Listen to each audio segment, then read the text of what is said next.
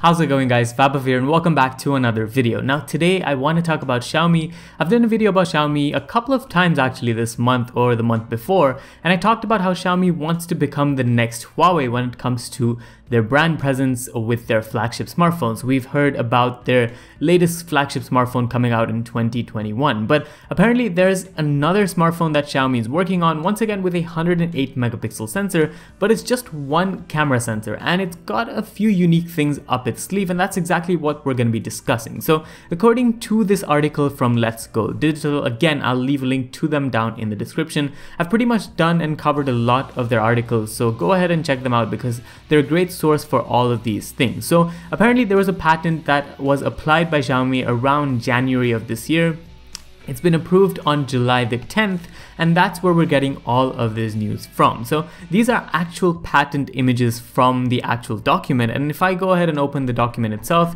you can go and see what Xiaomi has in store with this smartphone. So this smartphone is pretty much a futuristic smartphone where every part of the smartphone is covered with the display. So if you look at the specifications and the ports of this thing, we're looking at no side buttons, so it's all screen all around the edges as well as the front. And there's also a second screen at the back of the smartphone and more on that in just a bit. But aside from that, we're looking at two speakers from what this image shows alongside a type C USB port. And if we go ahead and take a look at the top, we're looking at some sort of port on the left side and a power button on the right hand side. So that pretty much sums up what we're looking at in terms of ports and design. So this design will share similarities to the Huawei uh, Mate 30 Pro with its curved display. Also the Motorola Edge Plus, it also has a curved display. So I think the future of smartphones is curved displays, believe it or not. People aren't gonna like that, but to be honest, that's how you're gonna get the maximum immersive experience. But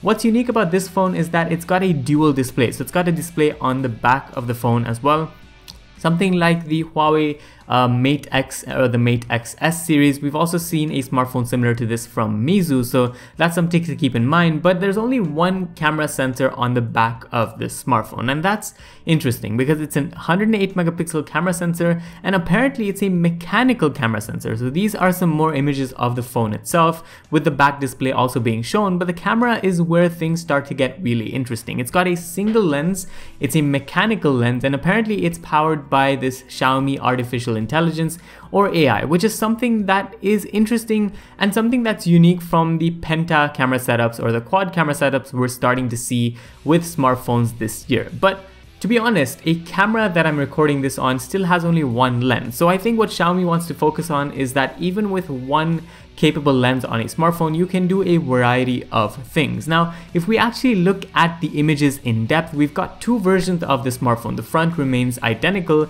but we've got one without a transparent background with a black background and the same camera, and one with a silver ring around it as well as a transparent background. And transparent backgrounds aren't the most unique things for Xiaomi. We've seen a lot of phones from Xiaomi do it in the past, so this is nothing new, but if we actually go ahead and scroll into this image, we're going to be seeing a lot of different things that I want to point out in this video. So first of all, let's take a look at this lens itself. It's an AI super camera, and if we go ahead and look to the side, it says it's a 108 megapixel sensor.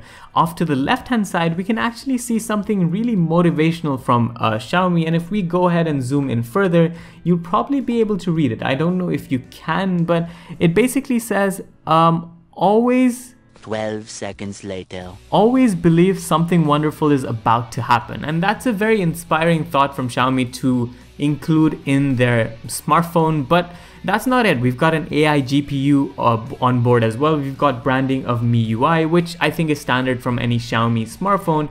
We've also got designed by Xiaomi. We've got flash memory Again, very standard. We've got a 5G modem, uh, IV650 5G modem, so that's something to keep in mind and how it's going to tangle with the Qualcomm Snapdragon um, 865 or 875 series, whichever this is about to run. Uh, graphics for memory, and that's about it. But I think this overall setup, this one camera setup is unique and Xiaomi is definitely taking risks with it because uh, we've seen in the past a good camera setup is associated with having a lot of different lenses. We've got a telephoto lens, we've got an ultra wide angle lens, we've got a macro lens, we've got a depth sensor, and that's pretty much four camera lenses plus a primary sensor that makes it five. So with this being just one lens, I want to see how Xiaomi markets it and I want to see the feature set of this smartphone. Now at the end of the day, this is still a patent, so we might never see this phone coming out, but if we do see it coming out, it might share similarities to the Mi Mix Alpha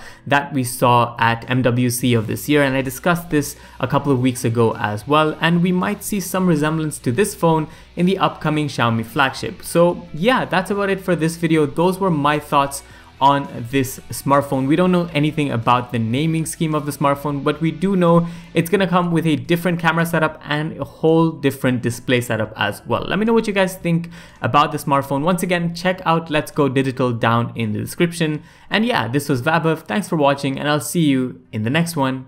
Adios.